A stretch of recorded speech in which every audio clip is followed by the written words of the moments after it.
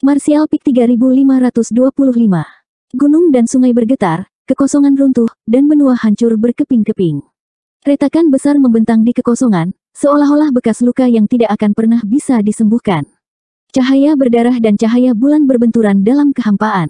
Demi Saint dan ras iblis di bawah menyaksikan dengan linglung. Mereka tidak bisa melihat situasi pertempuran dengan jelas. Aura tabrakan sengit di koridor menutupi semua jejak.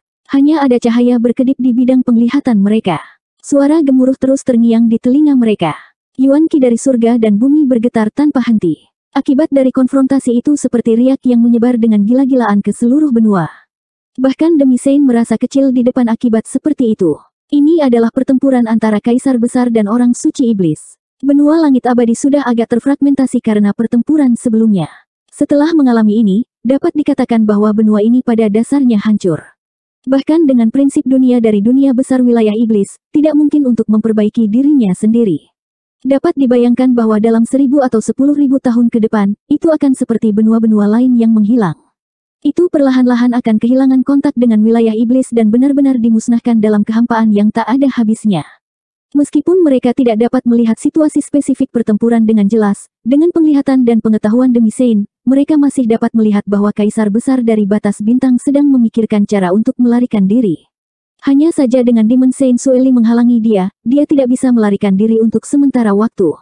Ini adalah fenomena yang sangat normal. Dua orang dengan kekuatan yang sama akan selalu terjerat saat melarikan diri. Namun, yang pertama pasti akan memiliki inisiatif, dan pihak yang menghalangi mau tidak mau harus membayar harga yang lebih tinggi untuk mencapai tujuan mereka.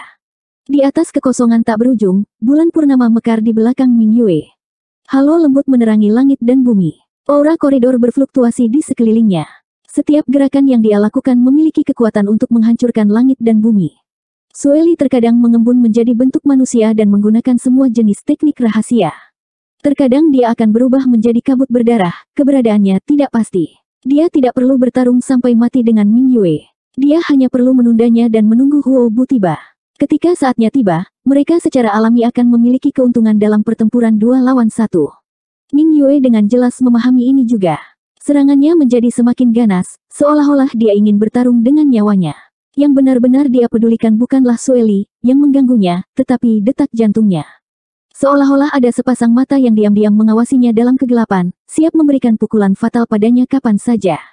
Jika bukan karena ini, Ming Yue pasti sudah bertarung dengan Sueli sampai mati. Dia telah mencoba berkali-kali untuk memancing musuh yang bersembunyi di kegelapan, tetapi dia tidak pernah berhasil.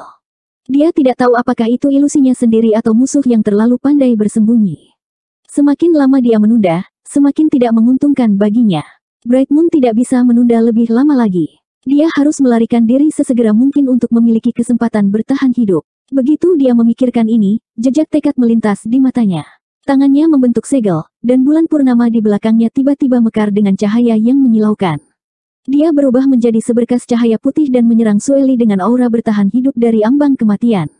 Kabut berdarah di depannya mengembun, memperlihatkan sosok Sueli. Jejak keraguan dan perjuangan melintas di matanya.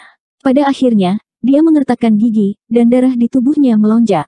Cahaya merah gelap menerangi langit saat dia menghadapi bulan yang cerah tanpa ragu-ragu. Karena kamu ingin bertarung dengan nyawamu, maka aku akan melakukan apa yang kamu inginkan. Sueli secara naluriah merasa bahwa ini hanyalah tipuan Ming Yue, mencoba menggunakan metode ini untuk memaksanya mundur. Bagaimanapun, ini adalah wilayah iblis. Jika dia terluka lagi, dia bisa melupakan melarikan diri. Karena itu, dia tidak bisa mundur saat ini. Jika dia mundur, rencana Ming Yue akan berhasil. Jika dia tidak bisa mundur, maka dia hanya bisa bertarung. Namun, ekspresi Sueli dengan cepat menjadi heran. Ini karena saat mereka saling mendekat, dia menyadari bahwa Ming Yue tidak berniat untuk berhenti. Sebaliknya, auranya menjadi lebih kuat, dan momentumnya menjadi lebih ditentukan. Bajingan ini benar-benar akan bertarung sampai mati bersamanya. Bukannya terkejut, Sueli malah sangat senang. Dia tidak bisa menahan tawa, Ming Yue, kamu mencari kematian. Saat dia selesai berbicara, dia juga meningkatkan auranya sendiri. Di langit, dua sinar cahaya putih dan merah dengan cepat mendekati satu sama lain dan bertabrakan dalam sekejap mata. Tidak ada suara gemuruh. Seluruh dunia jatuh ke dalam keheningan yang aneh pada saat ini, seolah-olah itu adalah kekacauan di awal dunia. Namun, semua ras iblis yang menyaksikan adegan ini dapat dengan jelas mendengar detak jantung mereka di dada. Seolah-olah mereka dicengkeram oleh tangan yang tidak terlihat, menyebabkan mereka merasa tercekik dan tercekik. Dua sinar cahaya putih dan merah terhenti sejenak di langit. Kemudian, mereka meledak dengan ledakan keras, menelan seluruh dunia. Semua ras iblis tidak bisa membantu tetapi menyipitkan mata mereka saat ini. Gelombang kejut yang terlihat dengan mata telanjang menyebar ke segala arah dengan titik tumbukan sebagai pusatnya. Angin liar melolong saat mereka lewat, meratakan gunung dan sungai yang hancur. Kedua sosok itu terlempar ke belakang dengan kecepatan lebih cepat dari momentum mereka. Raungan marah Sueli bergema di seluruh benua, Ming Yue, kamu tidak bisa melarikan diri. Pada jarak yang tidak diketahui, sesosok tubuh melayang dengan gemetar. Itu adalah Kaisar Agung Bulan Cerah yang telah bertarung dengan Sueli ke titik di mana kedua belah pihak terluka parah. Pada saat ini, wajahnya pucat, rambutnya acak-acakan, dan jubah putih bersihnya berlumuran darah dalam jumlah besar. Tidak ada yang tahu apakah itu miliknya atau milik Sueli. Dia mengabaikan kata-kata Sueli dan mendesak Kaisar Qi untuk terbang menuju gerbang realem terdekat. Pada saat yang sama, dia mengulurkan tangan dan menjepit daun hijau, memasukkannya ke dalam mulutnya, dan menahannya di bawah lidahnya. Jika bukan karena daun pohon abadi, dia tidak akan berani menggunakan metode seperti itu untuk melarikan diri dari belitan Sueli. Karena itulah dia sangat tegas. Saat itu, Yang Kai telah memberinya tiga daun pohon abadi. Dia telah menggunakan dua dari mereka untuk menyembuhkan luka-lukanya, dan dia tidak mau menggunakan yang terakhir. Itu semua untuk hari ini, untuk jaga-jaga. Sekarang, tampaknya keputusan ini memang bijaksana. Dengan daun pohon abadi ini, dia akan dapat menstabilkan luka-lukanya dan memanfaatkan fakta bahwa orang suci iblis lainnya belum tiba, memberinya kesempatan besar untuk melarikan diri dari domain iblis. Hanya ada dua gerbang alam yang tersisa di benua surga abadi, dan masing-masing dijaga ketat. Namun, selama tidak ada Demon Saint yang hadir, Demon Rache tidak ada artinya di matanya. Selama dia bisa keluar dari gerbang realem, dia akan setengah jalan menuju kesuksesan. Namun, perasaan diawasi tetap ada. Ini jelas bukan ilusi. Benar-benar ada musuh yang sangat kuat yang bersembunyi di kegelapan seperti seorang pemburu yang mengamati pergerakan mangsanya. Dia adalah mangsa yang diamati. Yang mengejutkan Ming Yue adalah bahkan ketika dia melihat lokasi gerbang realem, musuh yang bersembunyi di kegelapan tidak menunjukkan niat untuk menghentikannya. Dia tidak lengah karena semakin hebat seorang pemburu, semakin besar kemungkinan mereka akan memberikan pukulan fatal pada mangsanya pada saat terakhir. Dia masih beberapa ratus kilometer jauhnya dari gerbang realem.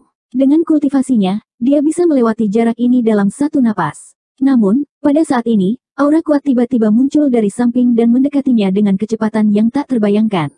Itu adalah aura dari Demon Saint. Selain itu, itu adalah aura yang sangat asing.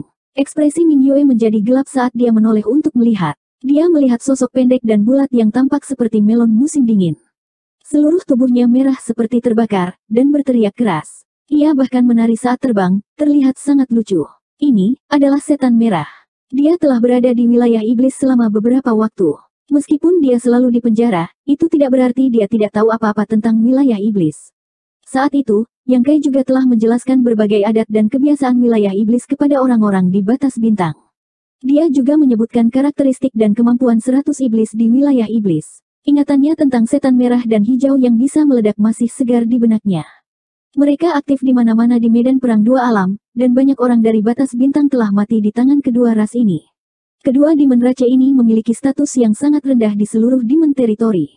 Mereka bisa dikatakan sebagai level terendah dari keberadaan. Dalam setiap perang, mereka digunakan sebagai umpan meriam karena mereka dapat menghancurkan diri sendiri, dan kekuatan penghancuran diri mereka cukup kuat. Sejalan dengan itu, ras iblis seperti umpan meriam ini memiliki kecerdasan yang sangat rendah. Sepertinya tidak pernah ada Demon Raja tingkat tinggi. Tetapi pada saat ini, dia benar-benar melihat setan merah tingkat setan suci. Itu benar, pria Crimson yang melambaikan tangannya dan berteriak sambil menyerangnya memang memancarkan aura Saint Iblis. Setan merah bisa berkultivasi ke tingkat orang suci setan. Bahkan dengan temperamen bulan terang yang luar biasa, dia masih terkejut. Red Demon Demon Saint yang menyerangnya sepertinya tidak waspada sama sekali. Sebaliknya, dia tampak seperti akan mati bersama dengannya. Apa yang akan dia lakukan? Bright Moon mengerutkan kening, berpikir bahwa orang ini tidak akan seperti setan merah dan hijau tingkat bawah dan penghancuran diri, bukan. Bagaimanapun, dia adalah seorang Demon Saint. Metodenya tidak boleh terlalu rendah. Tetapi segera, dia menyadari bahwa dia salah. Orang ini benar-benar memiliki niat untuk menghancurkan diri sendiri, karena semakin dia mendekat, aura yang dia keluarkan menjadi semakin berbahaya, seperti gunung berapi yang bisa meletus kapan saja. Ekspresi Bright Moon berubah. Dia menoleh untuk melihat gerbang realem di depannya. Dia mengertakkan gigi, mengetuk kakinya, dan dengan cepat mundur. Bahkan penghancuran diri setan merah yang paling biasa pun dapat menyebabkan kerusakan besar. Bright Moon tidak bisa membayangkan apa yang akan terjadi jika Demon Saint level Red Demon menghancurkan dirinya sendiri. Mungkin seluruh benua akan hancur karena ini. Tapi tiba-tiba, saat dia mundur, setan merah di depannya berputar, dan dalam sekejap mata, itu sudah 300 meter darinya. Pada jarak sedekat itu, Ming Yue bisa dengan jelas melihat wajah jelek dan tubuh bengkak pihak lain.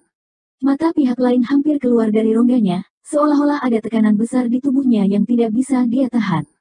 Aura yang sudah berbahaya menjadi lebih mengejutkan. Tanpa ragu-ragu, Bright Moon melambaikan tangannya dan meletakkan lapisan pertahanan di depannya. Dia bahkan menggunakan harta karun kaisar pertahanan yang belum pernah dia gunakan sebelumnya. Sebuah titik lampu merah tiba-tiba muncul, diikuti oleh suara keras yang membuat seluruh dunia bersenandung. Tempat di mana Red Demon Demon Saint berdiri langsung tertutup oleh cahaya merah yang menyilaukan. Lampu merah menyebar dengan gila-gilaan, dan di mana pun disentuh, semuanya berubah menjadi debu. Lapisan pertahanan di depan Bright Moon hancur seperti kertas. Harta karun kaisar bertahan berkelebat liar, tetapi itu tidak bertahan lebih dari beberapa saat sebelum hancur.